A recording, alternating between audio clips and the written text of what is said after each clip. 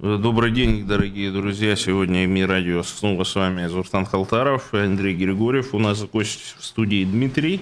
Он чуть позже представится. Сейчас пока послушаем бурятскую музыку.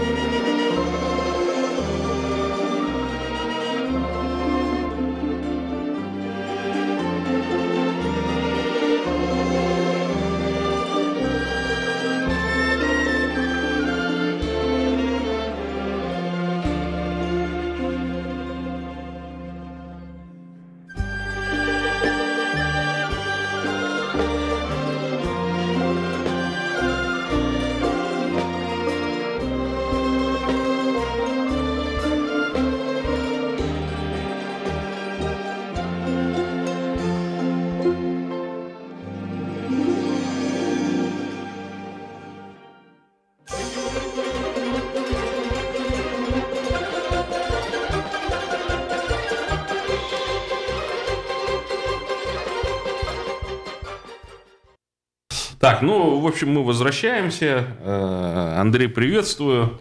Э, да. В прошлый раз, э, в общем-то, я считаю, что этот, как его, эфир удался. Удалось с тобой связаться, хотя там довольно тяжелые условия были, да? Ну, ты в автобусе ехал там и так далее, и связь ну, нормальная Ну была. да, вот еще один аргумент в пользу Польши, собственно, это вот как ходит вообще пассажирский транспорт между городами и даже между странами, потому что в Берлин на форум свободных государств пост России мы поехали э, с другим товарищем, коллегой э, поездом, рискнули из Варшавы в Берлин, и в результате вместо пяти с половиной часов э, мы добирались 12 часов до Берлина, причем проблемы были именно в Германии. Как вот это, наверное, не парадоксально звучит для большинства наших слушателей, но германские железные дороги – это что-то с чем-то.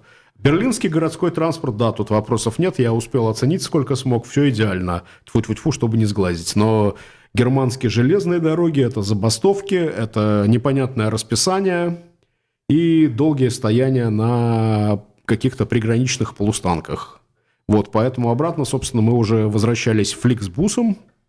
Это было дольше, ну, связь была не идеальна, но, собственно, хорошо, добрались, и даже вот я с вами вышел на связь и рассказал вкратце, что было на форуме. Ну, я, например, в прошлом году летом ездил там к своему товарищу, ныне признанному, значит, э, на него завели уголовное дело по 205 статье, точка 3, Владимиру Шафирову.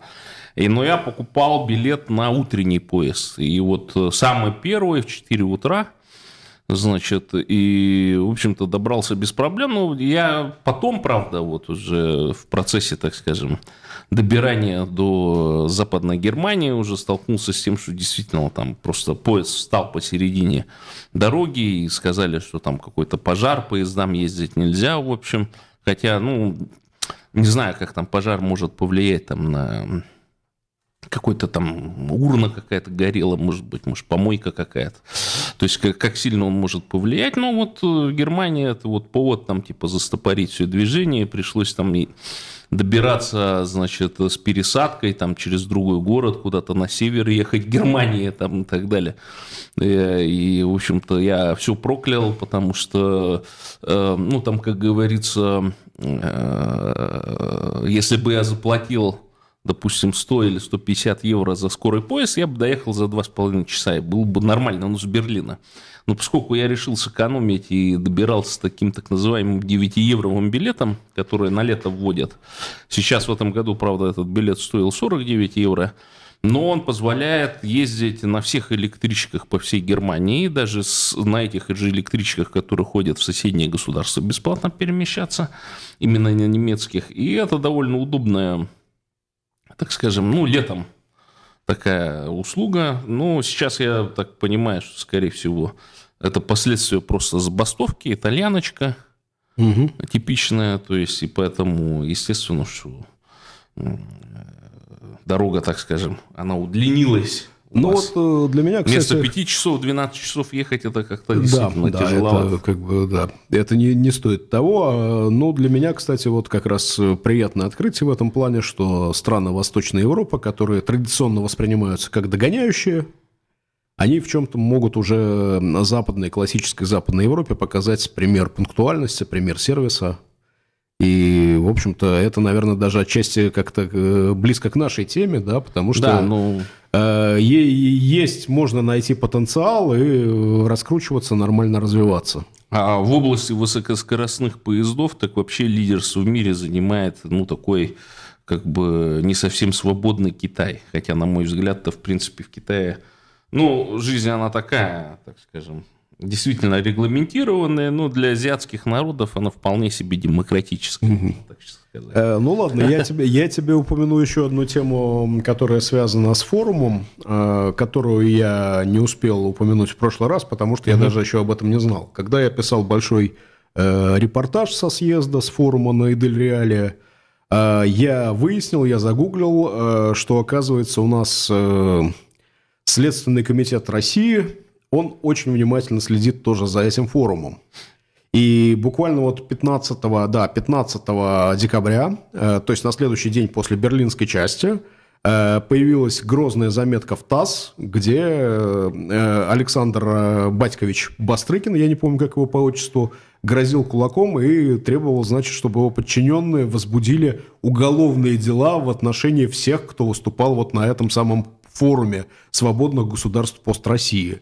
То есть видишь, какая оперативность. А раньше, вот, например, э, в случае с Юлией Фейзрахмановой, угу активистка из Татарстана, им требовалось на осознание этого и на принятие решения, ну, даже не полгода, а больше. Там 8-9 месяцев прошло. Вот Но... Ну, с момента ее выступления на Брюссельском форуме и до того факта, когда стало известно уже точно о том, что против нее возбуждают уголовное дело. Сейчас, видишь, уже на следующий день Бастрыкин требует. Значит, следят, очень внимательно следят. А еще одна важная деталь, которая мне показалась очень смешной. А, э, Следственный комитет в своем пресс-релизе, который опубликовал ТАСС, он ссылается на некий сюжет угу. на одном из федеральных каналов. Ага. Так вот, все участники форума, я специально их интересовался, ну что, вы что-нибудь видели? Никто этого сюжета в глаза не видел. То есть э, я так полагаю, что это была домашняя заготовка, договорняк, что этот сюжет выйдет, но по какой-то причине его, видимо, передумали показывать в эфире, там, я не знаю, «Россия-24» или Первого канала. То есть сюжета до сих пор никто в глаза не видел, но э, Следственный комитет Российской Федерации грозит возбудить дело на основании сюжета, показанного в эфире федерального канала. А, как ну, тебе это? Ну, э, что там удивляться? Вот, э, мы же знаем, как дела-то фабриковались. То есть, вот еще совсем недавно, в принципе, люди пропадали, да, их там колотили. Вот, например, в той же Чечне, например, там вообще без суда и следствия людей уничтожали. Э, одному из администраторов Каналова, я насколько понимаю, то ли Адат он назывался, то ли еще какой-то его просто выкрыли откуда-то из э, России, значит, э, держали какое-то время, значит, то ли в подвале, то ли еще где-то, а казнили каким способом, значит, то есть они его, по-видимому, каким-то образом избили или изнасиловали и засунули гранату в рот, выдернули чеку, и, ну, собственно, взорвалась граната.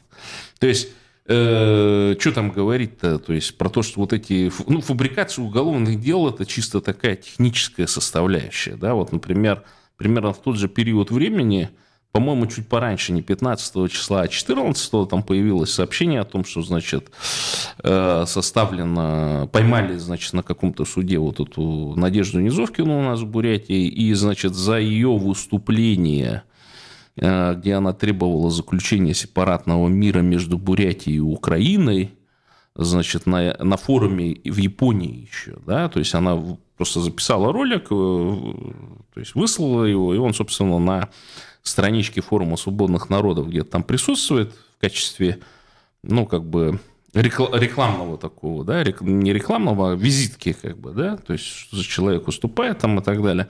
Вот они его использовали для, для того, чтобы составить, э, значит, э, по статье Гражданского административного кодекса 20.33, значит, и, э, ну, мы-то уже понимаем, что следующее это уже там какие-то уже другие статьи, там, призывы, призывы к сепаратизму, там, или еще что-нибудь в этом роде, да, то есть э, тут не мудрено, э, особенно для тех людей, которые в России находятся, да, и которые на форуме выступали, для них, конечно, опасность на, на, на самая высокая.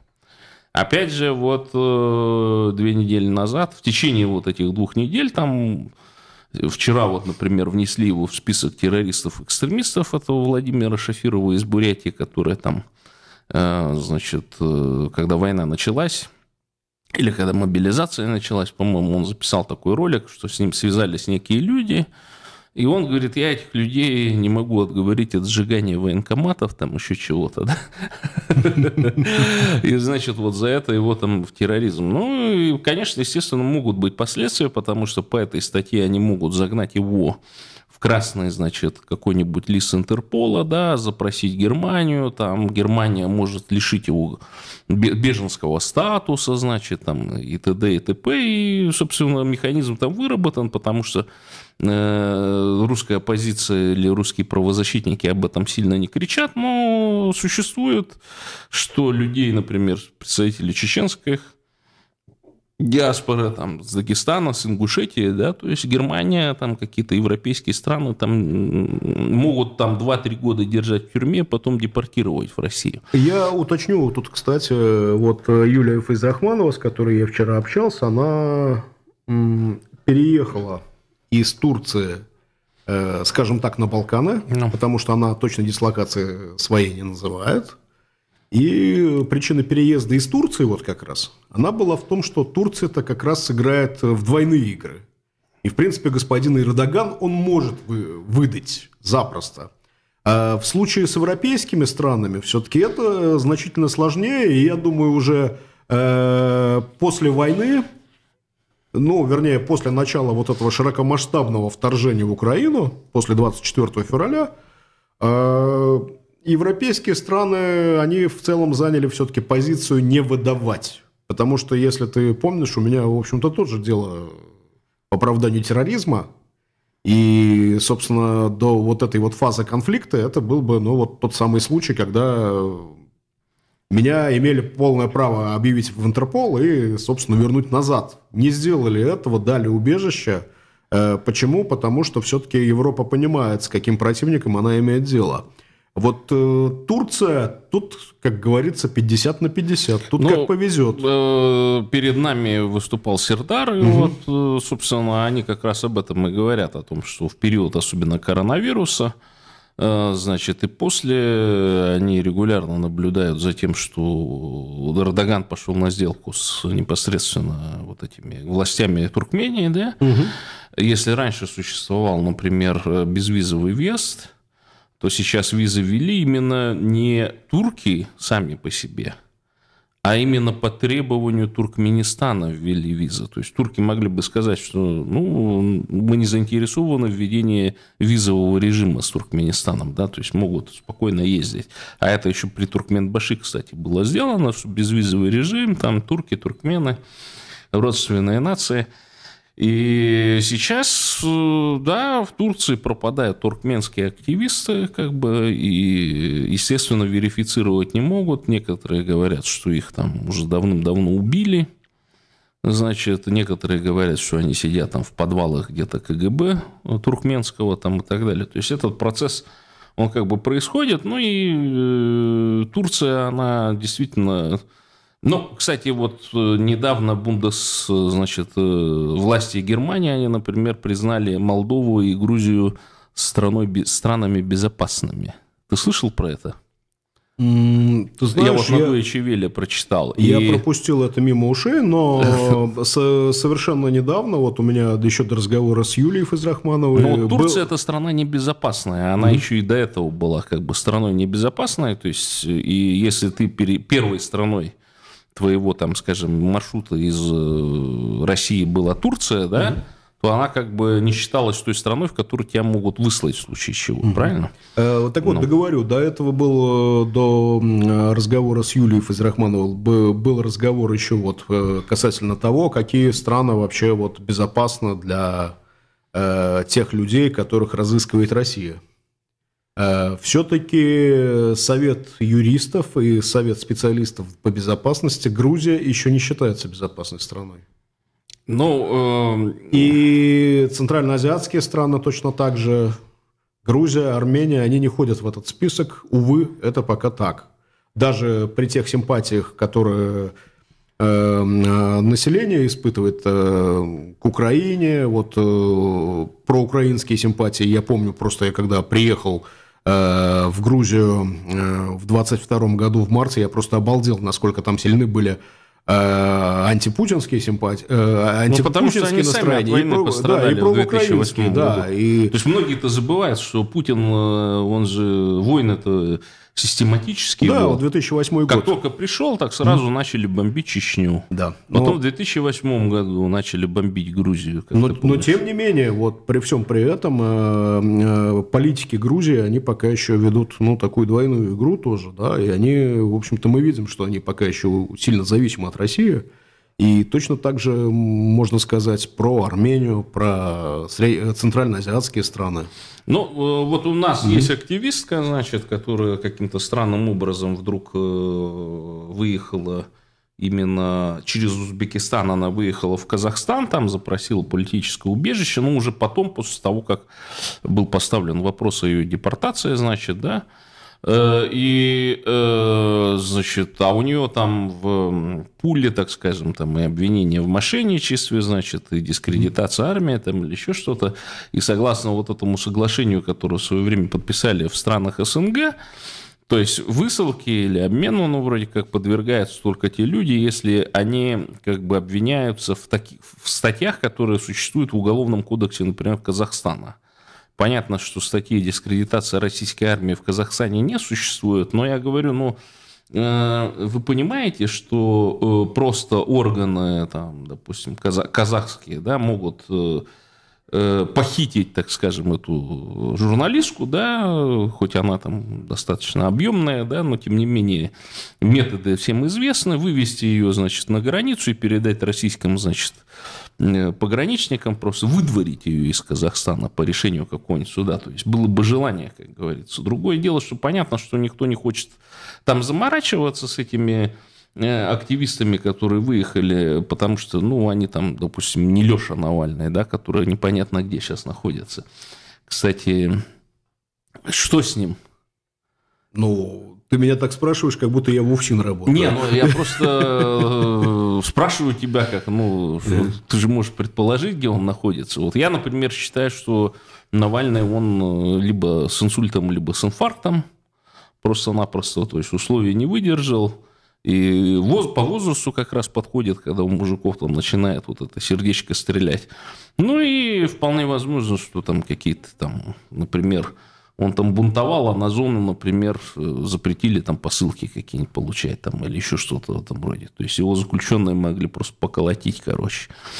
Ну, смотри, для меня скользким, для... скользким местом в этой истории все-таки остается ну, вот это вот э, его заявление, либо не его заявление по поводу того, что в выборах, в перевыборах Путина надо участвовать. Ну, Mm. Понятно, что преподнесено так, что... А то есть бы... ты думаешь, что он завербовался, значит, Нет, в, ЧВК, он... в ЧВК Вагнера, ни в, коем, ни в коем случае. И, решил, коем случае. и решил получить, значит, у Путина э, амнистию через 6, ни в коем случае, через 6 месяцев. Ни в коем случае, хотя такой дипфейк я уже видел, где Алексей Навальный якобы, он где-то в Вагнере, там на передовой. Ну, чушь, разумеется, все, но у меня вопрос, вот как верифицировать действительно то, что он сказал, и то, что он передал сейчас Э, из мест лишения свободы, особенно э, учитывая ситуацию с его адвокатами, да? Ну, там же было какое-то расследование о том, что... Ну, я предполагал, что на самом деле все вот эти публикации в СМИ, да, они не в СМИ, точнее, на его там личных страницах, они идут через адвокатов. То есть он просто адвокатам пишет, и там переписка, она каждый день идет, да? То да, есть письма... но, мы, но мы при этом помним, что случилось с адвокатами. Э, да, ну, да, э,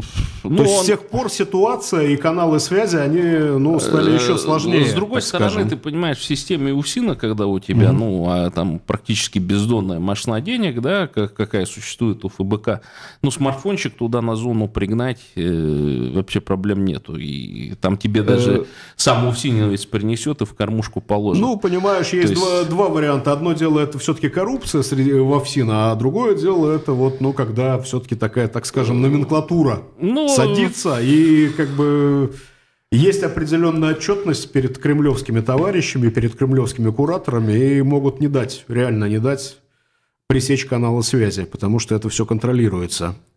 А, у меня вопрос на самом деле, насколько мы можем сейчас вот воспринимать этот призыв участвовать в выборах, э, которые покажут закономерный результат, э, насколько это призыв был самого Навального. Ну, ты понимаешь, смотри, mm. то есть они ФБК, вот э, при всей там критике, я абсолютно, вот посмотрите, я не оправдываю их и не поддерживаю и так далее. То есть это просто вот мой анализ такой происходит, потому что ну смотри, да, они вот эту идею о умном голосовании и всем прочем, э, не думаю, что это она в их мозгах, так скажем, родилась. Я думаю, что они слезали с каких-нибудь банановых республик, там, с Э, значит, стран Африки, может Если быть. Если говорить, или... о чем они слезали, они слезали с российской практики. Но это э, тема отдельного, а это, тема отдельного разговора. Это сто процентов, это явно там не российские подходы. Там, Нет, я тебе, я тебе расскажу, как это было, но, видимо, не в этот раз, потому что мы но тогда уйдем те, слишком далеко. там что-то там выдумали там, и так далее, я более чем уверен, где-то это заимствовали, потому что, ну, просто россияне, ну, такого в голову Заим, не пришло. Заимствовали у жизни. Ситуация, ну, ситуация ты видишь какая, в том, что важно было продать этот проект американцам. И я в свое время помню, там, периодически вырезал вот этот из фильма «Банда Нью-Йорка», там, где, значит, э, они своих кандидатов выдвигали, ну, там различные этнические группировки, там, ирландцы, католики своих, значит, там, протестанты, англичане, значит, своих выдвигали. И, значит, э, те, кто имел право голоса, вот они становились разменной монетой, их там обревали там, и так далее. Ну, в общем, каруселили по полной. То есть, и э, вот это как раз и продается американцам. То есть, э, одна из башен Кремля продает, говорит, ну вот посмотрите, у вас же тоже не было все гладко с выборами, и негров там заставляли вплоть до 40-х, 50-х годов, там, ну, по признаку гетто, то есть заходил какой-то кандидат, говорил, ну там что там Джо, давай все твои там э, афроамериканцы будут голосовать за конкретного кандидата, например, да, ну, то есть это там на уровне договоренности решалось. То же самое здесь такая же ситуация, то есть они показывают, что да, да, вот, ну, ты понимаешь, но есть же вот этот механизм демократические выборы, то есть, да, он сложный, там все прочее. Ну, то есть, это на уши просто лапшу американцам вешают э, для того, чтобы показать, что, ну, вот посмотрите, вы, ну, можете у нас покупать там ресурсы, мы можем сотрудничать, вот русская культура, щелкунчик на Новый год там и все прочее. Ну, и американцы на это покупаются, потому что, ну, грех, грех не купиться, когда тебе там откуда-нибудь из какой-нибудь нефтедобывающей, нефтеперерабатывающей компании там э, грант приходит, да? И, э, естественно, они вот эту идею о том, что вот э, выборы должны вот эволюционировать, люди должны понять, что действительно от их голоса что-то там зависит, да, но я вот сейчас глазами моргаю, да, перемигиваюсь. Почему? Ну, потому что американец, вот среднестатистический, Э, или тот сенатор, который, да, он не специалист по России, да, он специалист по Америке, он понимает свой вот этот э, избирательный процесс. У них там тоже, допустим, в Нью-Йорке, я помню, был цикл лекций от посольства США. И вот я записался туда, и я слушал, значит, одного из э, он как, ну, вот, который политикой занимаются люди профессионально, и он не политик именно, а вот политтехнолог как бы. И он говорит, а вот вы знаете, что на выборах, последних на тот момент выборах мэра Нью-Йорка принимало участие всего 13% людей, которые имеют право голоса. То есть всего 13% жителей Нью-Йорка пришло и проголосовало за мэра города. И он говорит, что у нас такая же проблема, да, что не ходят на выборы все. Но там немножко другая система в США, понятно, это представительная демократия, да, то есть это как бы не всеобщее, там не народовластие, как это в Конституции Российской Федерации записано. И поэтому действительно вот американским там сенаторам, каким-то богатым американцам, этим белым протестантам, так скажем, им вот легко эту идею продать о том, что вот мы же, ну понимаете, мы содействуем тому, чтобы люди ходили там, и так далее. То есть эта идея-то она не русскому народу продается, да, она продается американцам. Почему? Потому что ну, американцам эта система понятна. Да? Ну, Ее смотри, легко протолкнуть я, я понимаю, да, и легко смотри, навязать. Тут... И о, чё, о чем речь-то? О том, что ну, действительно, вот как бы, э, если вот э, эмоции отбросить, но это же действительно механизм. Если вы не захотите Путина, вы придете и проголосуете за какого-то другого кандидата. Ну, логика американца, правильно? Понятно, но при диктатуре это так не так работает. Так естественно, в том-то и дело, что... И да. это, я и почему говорю, что эту, эту идею американцам продали именно. Потому что, ну, например, выборы же тоже в этом, в КНДР проводятся, да, в Советском Союзе выборы Нет, проводились. смотри, у меня-то вопрос. Вот в, в чем, кто продал эту идею, потому что смотри, какой удивительный момент, у нас же ФБК, оно до последнего, оно не хотело участвовать, оно, в общем-то, стояло на идее бойкота президентских выборов в виде бесперспективности э, того же механизма под названием «умное голосование». И вот э, буквально до того, как Путина, за день до того, как Путина выдвинули, вот этот вот там какой-то там ДНРовец там ему, значит, предложил избираться, да, ну, мы помним, как это было, какая-то очередная буфанада пошлая, вот. Ну, почему да. пошлая? Она в ну, советском ну, стиле. Да, абсолютно пошлая. Ну, а в советском что, не пошлое было? Вот. И как бы они вдруг неожиданно изменили свое решение. Да, даже какое-то там это хулиганство такое подготовили с этими вот э, с QR-кодами на баннерах. Но, тем, тем не менее, такое ощущение, что они вот это делали форсированно, принимали решения. Э, мне кажется, это все, все значительно проще, потому что когда мы рассматриваем сейчас э, российскую оппозицию, мы понимаем, что, в общем-то, она в некой патовой ситуации находится, и у нее нет хороших ходов. Вот, но либо, либо создавать видимость того, что они что-то делают, либо все-таки взять тайм-аут и тогда можно вылететь из, совсем из политической повестки. И поэтому они предпочли, видимо, вот соратники Навального, те, кто остается на свободе за границей, они предпочли, ладно, будем все-таки участвовать, вот что-то там затеем, какие-то хулиганские акции там, была не была. Понимаем, что мы абсолютно ни на что не повлияем, но, по крайней мере, мы вот э, будем постоянно в информационной повестке. Э, мы будем давать о себе знать. Ну да, ну, короче, э, тут еще другой подход, потому что, ну, достаточно большое количество там вот активистов, которые тихушники их называю, они там остались, которые, я помню, там, значит, у нас в Бурятии вот эти навальнисты были ужасные нацисты и шовинисты, которые, в принципе, меня, меня перепутали с другим бурятом. Ну, он там телосложение может быть похож, но мы на лицо отличаемся. Я тогда скандал устроил по поводу того, что какого хрена вы живете в Бурятии столько лет, короче, да, какие-то власти там представляете, а до сих пор mm-hmm. не научились даже э, вот бурят отличать друг от друга, да. И вот он, ну, эти люди говорили, ну, вы там не ходите на митинги теперь, там вам надо осторожнее, там вас посадят, там, или еще что-то в этом роде. То есть у них вот, ну, такая риторика. Какие-то, конечно, там часть там призывала, там, чтобы люди выходили, потом их, конечно, с этими, со всякими штрафами и так далее всех пробрасывали. Э, и, собственно, э, сейчас вот это одна из э, так скажем, политбежена, как она там себя называет, она сейчас вот активно включилась э, в работу э, по поиску, значит, людей, которые бы возглавили штаб вот этих так называемых оппозиционных кандидатов, там Дунцова, Надеждин, там, да, еще там, может, кто-то появится там и так далее. То есть, ну, денежки-то выделены, понимаешь? То есть, тут вопрос-то об этом. Деньги, как говорится, не пахнут. И вот э, все, которые тихушники там остались, они, ну, а что, что бы, бы не подзаработать, да? Смотри, в чем проблема. Я вижу еще, вот э, она как раз связана с этим исчезновением Алексея, который то ли призвал, то ли не призвал. Мы сейчас уже не знаем, и сразу после этого исчез.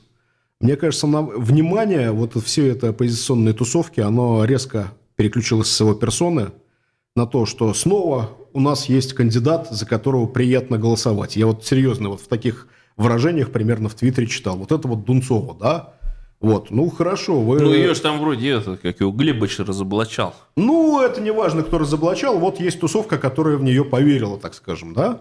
Ну, с одной стороны, вроде бы хорошо, а с другой, во-первых, ну, как бы подзабыли за всей этой суетой самого Алексея, собственно говоря. Э, вопросы, где Навальный, они почему-то звучат уже гораздо реже, как я заметил. Вот, ну вот если ну, анализировать прошли, все нормально. Медийное есть... поле, да. А во-вторых, э, ну вот да, хорошо, они нашли кандидатку, за которую снова приятно голосовать. Не из нескольких зол выбирать, да, а вот, ну, как бы приятного кандидата. Но при этом э, как защищен этот кандидат? То есть одно дело, если Дунцова там она будет э, барахтаться где-нибудь в районе там 1-2%. Это одно. Но да. так но, и будет. Но другое дело, если вдруг неожиданно по какой-то причине, ну вот сработает это протестное голосование, не знаю, что еще произойдет, какие-то события, которые мы пока не можем прогнозировать, что-то произойдет и случится резкий взрыв популярности. И вот тогда я боюсь, что с Дунцовой поступят примерно так же, как с Алексеем Навальным сейчас – а что будет делать тусовка? Как она будет ее защищать, собственно говоря? И как она будет защищать свой выбор? Да никак. То есть получается, если Дунцова действительно выстрелит, как кандидат покажет яркий старт, и Кремль испугается, ее просто быстренько уберут, закроют. Но, вероятно, этой тусовке успеют подыскать другого приятного кандидата, за которого также приятно будет голосовать. И все быстренько переключатся на нее. О, у нас еще есть время до выборов. Ну, Участвуем. Но, но дело в том, что вот э, касаемо масс, я, mm я более чем уверен, что по э, одиночке каждый оппозиционер, конечно, личность. Но когда вот, э, значит, переводим на какие-то больше, более высокие там численности их, угу. да, то они превращаются просто в стадо, то есть им нужен руководитель. И вот я помню, э, значит, был такой фильм о мустангах, и там, значит, в США мустангов регулярно отлавливают, и потом на убой их отправляют, потому что они неконтролируемо размножаются, там уничтожают там посевы, поля, там э все прочее. издалека зашел. Да, и вот э, чтобы, значит, этого, чтобы вот эту стадо мустангов зацепить, значит, используют лошадь обученную, домашнюю, угу. которая прибегает к ним в стадо и заводит, значит, э, в загон угу. специальный. То есть, и получается такая ситуация, что, значит, э, кем сейчас вот Донцова или там Нуждин или Надеждин или кто он там, Ой, является, слушай, я, они я обладают. Вот есть, не помню, но... э, ситуация вот, похожа на эту самую ситуацию, когда, значит, людишек просто э, в тол- превращают в толпу и загоняют, ну, в нужные, как говорится, рамки, да? Угу, угу. И, и э, с одной стороны, таким образом они там проявляют вот этих тихушников, которые сидят значит, ну, там, голос не подают и так далее, да, то есть это просто для того, чтобы, ну, ну, ты же понимаешь, что все уже репрессии поперли, то есть они уже стали понакатаны, уже доносы вообще нормы считаются, да, то есть никто же не осуждает доносчиков, например. А они вот прекрасно существуют себе, не боятся никого, там, строчат там э, сотнями, там, та же это, как его, Мизулина, да, которая там э, всю эту тусовку, как его, э, застращала значит, этих молодых всяких певцов, там, начиная от Моргенштерна, Хофманита, там, и все прочее, да, которые ездили к ней на поклон, там, и так далее. Э, плюс э, всякие депутатишки, которые доносы пишут, потому что вот на низовке, ну, тоже я более чем уверен, что тут же доносы пишут. Ну, то есть на каждого просто есть угу. специальный персональный доносчик, который вот эти все доносы пишет. И это уже норма, как бы, да? То есть это уже не стрёмно, как, как говорится, доносы писать. И э, вот такая ситуация, да, она уже, ну, мы уже видим тут из-за рубежа, что она закончится вот просто, ну, массовыми, э, не просто задержаниями, а арестами, фабрикацией уголовных дел, фабрикация это. Плюс еще следом это пойдет вот сейчас вот соседняя э, Беларусь, да, они там, я читал, что больше 120 или 130, значит, уже объектов недвижимости отжали – у тех людей, которые просто выехали, то есть они, может быть, даже вообще никаких заявлений не делали, публичных там и так далее. Но их просто обвинили в том, что а, он спонсирует там Пол Калиновского, короче, а мы у него квартирку тут отожмем. Вот и у Алексеевич, который на Нобелевскую премию какую-то квартиру купила, тоже собрались ее отжимать, потому что, ну, она же не живет. Угу. А мы квартирочку кому? ОМОНовцу какому-нибудь дадим с дубинкой. И э, такая же ситуация произойдет и там, в России. И она, ну, просто до ну, выборов со, может со, быть... со строчкой где-то в год или два, может Естественно, быть, да? то есть угу. это все начнется. И поэтому, конечно, вот эти люди сейчас, они бросятся, значит, эти тихушники, там, оппозиционеры бросятся в эти в штабы, там, туда-сюда, их снова перепишут. Понимаешь? То есть, и сделают из них э, активных, так скажем, да, и все, и привет, короче. Э, тут... на, на путинские, значит, стройки. Тут ведь проблема-то в чем? Во-первых, э, как я уже говорил, о оппозиции на этих выборах нет э, механизма защиты своих голосов, да? От кражи. Ну, верификация, да? естественно. То есть, во-первых, нет системы наблюдения, она порушена полностью и размыта, так что, да, действительно, можно колоссальное количество бюллетеней вбросить с помощью того же электронного голосования, никто ничего не заметит. Вот. А второе, что, естественно, никто Э, если даже этот вброс масштабный будет как-то зафиксирован, никто потом на улице качать права не выйдет. Либо, если выйдут, это довольно быстро подавит. И это надо четко понимать. То есть, если ты участвуешь в выборах, ты, значит, э, э, должен понимать, что ты, во-первых, как-то организуешь, организуешь систему наблюдения, чтобы у тебя не украли твои голоса. А во-вторых, э, что ты будешь готов э, качать права, если голоса все-таки украдут. Да дело в том, что вот ни, видишь... Ни, ни первого, ни второго у российской оппозиции сейчас, увы, нет. И более того, нет механизма защиты даже своих лидеров, не говоря уже о рядовых членов и членах. И вот поэтому у меня э, закономерный вопрос. Ну хорошо, приятное вам не, вот это вот э, Дунцова, да? Угу. Э, хорошо, приятный кандидат, за которого приятно отдать голос. Там, я не буду копаться в подноготной. Как говорится, я тут исхожу из принципа презумпции невиновности. Да? Пока человек ну, как бы не раскрылся, но будем считать, что это действительно так. Но как вы ее, ребят, защитите, если случи, случится у нее действительно вот этот всплеск популярности на выборах, которые позволяют Путину еще э, как-то в них худо-бедно действовать, как вы ее защитите? Да никак. То есть Грудинина тогда, помнят, э, очень показательно грязью измазали. Э, сидит Но до сих пор и не выпендривается. Да, и, есть, собственно... Э, имущество, причем использовали жену, да. которая у него все практически отжала. И, значит, там пострадали в том числе и люди. Он же там застройщиком, девелопером стал. На колхозных землях там да. пару домов построил. И, собственно, заметь, какая смешная история на этих выборах с КПРФ происходит. Зюганов там э, э, выдвинул еще более, по-моему, старого перца, чем он сам, которого даже фамилии никто не вспомнить, вспомнить не может, ну, чтобы показать Владимир Владимирович, мы с вами, значит, в выборах, мы вам конкуренцию не составляем, не смейте так подумать. Но, э, мы, же... мы полностью за вас, вот мы такого вас э, партнера вы, вы Ты же помнишь, вы, там какое-то было собрание, и он, значит, угу. потребовал, значит, от трудящихся масс в условиях войны, значит, э, сделать выговор тому, кто Путина куда-то без платочка выпустил, не, короче. Не, не, без шапки, без, без шапки. шапочки, там, без шарфика, там, и так а далее. Ну, он, ну, то есть, о чем... О Слушай, чем, о чем, ну, о чем можно вот говорить с Зуртан, такими людьми? Там, да? там есть... вообще было смешно, ну? он же не сказал сделать выговор. Он прямо употребил глагол «выпороть». Выпороть. То есть ну, это да, вот ну, такой номенклатурный есть... барин, барин на э, конюшне, видимо, должен устроить порку тем, кто, значит, холопам, которые вот это допустили. Не досмотрели, как другой барин рангом повыше, значит, без шапочки куда-то вышел. 15-градусный я, мороз. Я тебе и говорю, что все подготовлено для того, чтобы создать новую систему ГУЛАГов, понимаешь? Вот они уже строятся, и в Бурятию там за 28 миллиардов хотят завести, значит, тюрьму на 5 тысяч, причем в тюрьму туда, значит, посадить суд, прокуратуру, УФСИН, там еще там что-то.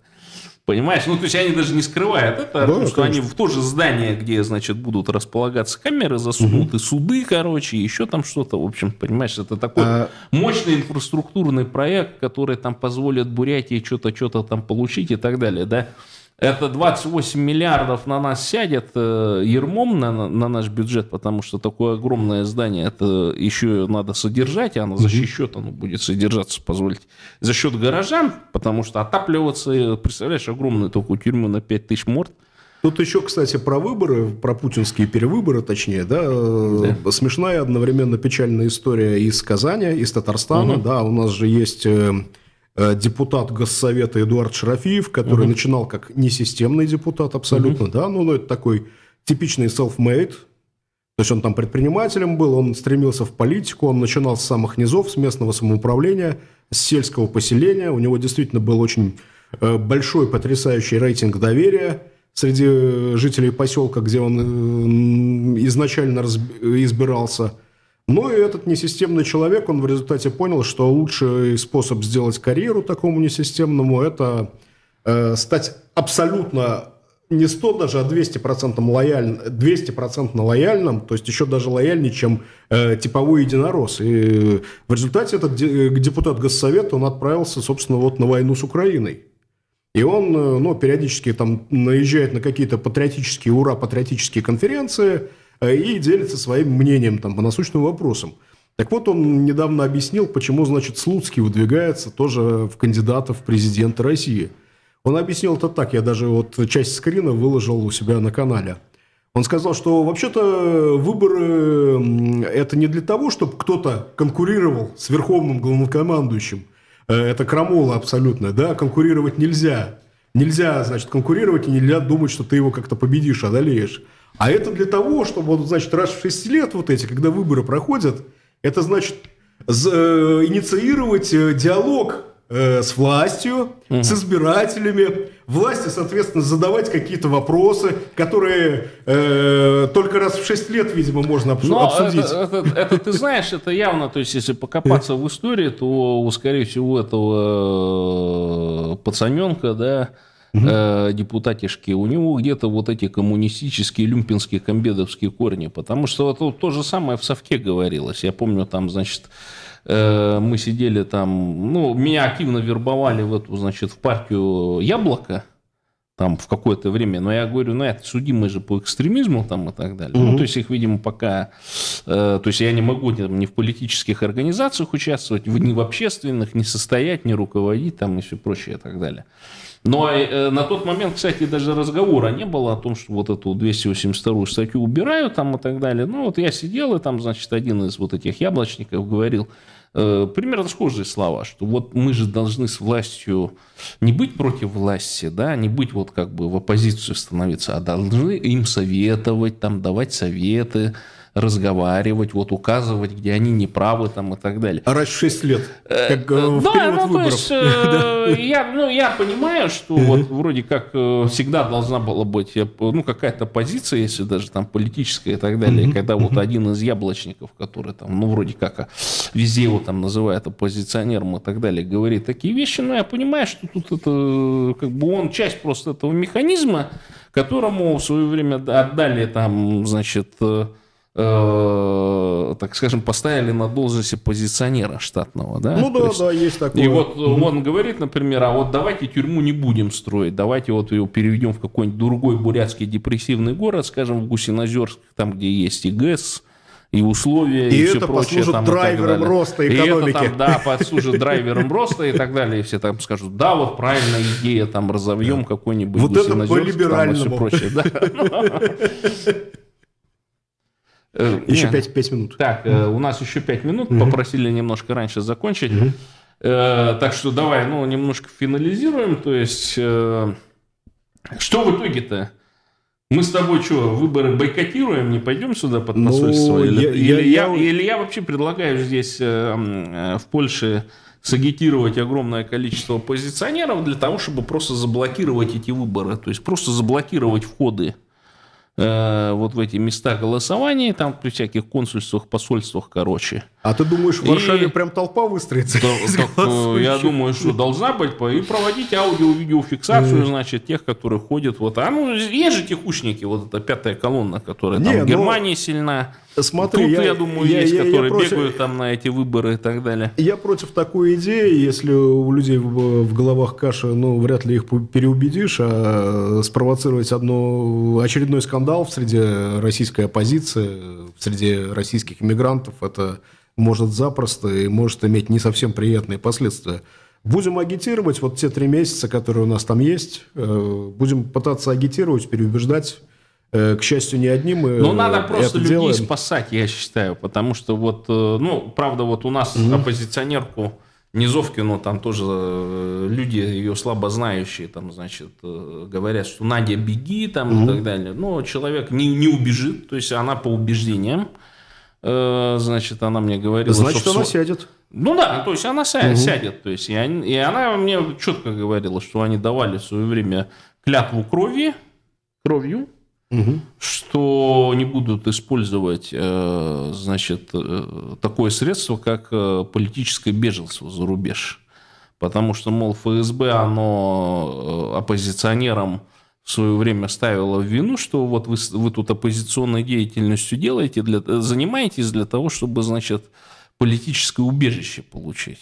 То есть, mm вот она говорила. А вот надо и... было пример, пример-то надо было брать с Владимира Ильича, потому что при всем нашем к нему негативном отношении вовремя уехал и вовремя вернулся. Но Ильич перед этим посидел, конечно, но что у него там было-то? Ну, видимо, видимо, там он, он, и понабрался. Он неплохо в Шушинском сидел, неплохо, у него служаночка сидел. была, я тоже бы с удовольствием бы где-нибудь в ссылочке посидел. В Ленина, Какушкина. Мне вот. бы давали там денежки, значит, я бы себе служанку нанял там. То же самое вот у Сталина было, он же там э, жил у вдовы, вдову там, значит, э, параллельно там, значит, использовал по прямому назначению, вдова ему, значит, незаконно там, как говорится, двух детей родила, то есть при этом еще, помимо вдовы, там он, значит, э, пользовался услугами, значит, какой-то э, какой-то служанки этой да вдовы. ладно, ты что-то разошелся уже. Не, ну я говорю я, о том, я, что... Я к тому, что заметь. Сейчас-то такого не будет, сейчас, понимаете, не будет такого. Сейчас тебя посадят на бутылку и куркам бросят. Вот и За, все. Заметь, кстати, не товарищ Ленин, не товарищ Сталин своим политическим оппонентам такой синекуру уже не давали. Да, вот в том-то и дело. Они извлекли урок, они поняли, что те потом тоже могут вернуться и их свергнуть. Да, и поэтому о чем говорить? Ну, это вот наследие такое пагубное, и поэтому некоторые люди, которые считают, что э, там общество эволюционирует и так далее, они ошибаются. Почему? Потому что посмотрите на рождаемость, на графике просто рождаемости. Население сокращается. То население, которое активно размножается, оно в демократию не верит, оно верит в другой тип демократии, да? Связанные, может быть, с религией или еще с чем-то. Поэтому о чем говорить, что вот по, европейскому или по американскому пути э, Россия как говорится, не пойдет. Она пойдет по своему пути, а свой путь какой? Это посадки, казни, отжим имущества. То есть э, и многие оппозиционеры уже, видимо, там заскучали, те, которые повыезжали, там уже сейчас я в Твиттере, в других социальных сетях вот это регистрирую, что надо бы, типа, мол, войну заканчивать, там еще там, знаешь, такие вот эти речи. Потому что хотят вернуться. Да, да. И на этом, кстати, отдельные политики очень играют. Ну, если их можно назвать политиками, например, вот такой так называемый либертарианец Светов, он раскачивает тему, что вот Украина сама виновата. Это она не хочет за- заканчивать войну. Россия-то уже давно закончила. И там у него еще такая статья была симптоматичная. А за что воюет Украина? Оказывается, не за людей своих, а за территорию. Вот. Ну, и понятно, что многие Но люди, которые... Украина победит в любом Победит, случае. абсолютно. Э, Слава и Украине. Героям слава. И поэтому тут не нужно тут э, как- какой-то бардак наводить. И поэтому все, кто говорят, российские оппозиционеры, вот э, на это, или просто россияне, которые выехали, они, ну, к ним нужно присматриваться просто. Ладно, благодарим вас за сегодняшнее, значит, э, интервью. Спасибо, Андрей, Зурдан. Дмитрий. Спасибо, уважаемые телезрители. Да. Так, Дмитрий в этот раз с нами не участвовал. Да, э, к сожалению. Музыка будет у нас? Так, ну давайте запустим музыку. Сейчас послушаем что-нибудь. Так, сейчас.